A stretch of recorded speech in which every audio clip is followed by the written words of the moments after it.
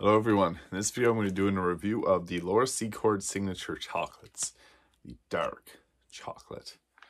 So in three of these there is 190 calories, 13 grams of fat, 21 carbohydrates with 2 fiber and 17 sugar, and 2 grams of protein. So it has sugar, unsweetened chocolate, cocoa butter, coconut milk, milk ingredients, soy lecithin, vanilla extract, natural flavor, and artificial flavor. Made by Laura Secord, Mississauga, Ontario. So I love Miss I love uh, Laura Secord chocolates. They had really good fudge back in the day. I haven't seen them. I actually haven't been to a Laura Secord in a very long time because uh, travel restrictions right now. So I want to enjoy this chocolate that I got at Winners, or actually at HomeSense, which is same company, TJ Maxx, TJX, Loyalty, all that same brand. So they come individually wrapped in these nice little wrapping. And they're big chocolate there.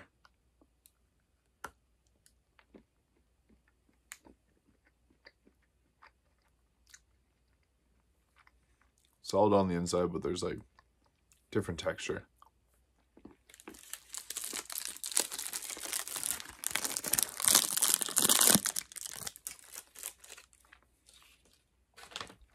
Come in a nice wrapper. And uh, he's a gluten and free peanut free.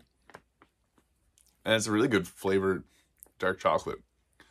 It's very smooth, yet it still tastes very much like dark chocolate.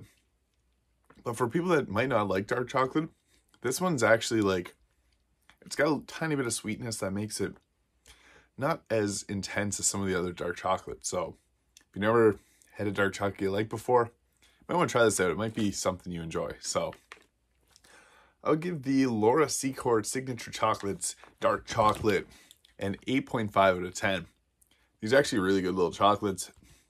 They have a nice flavor. And again, kind of sweet, not too bitter. A nice combination of everything we like and everything we want from a dark chocolate. So I'm a fan of these. I would get them again.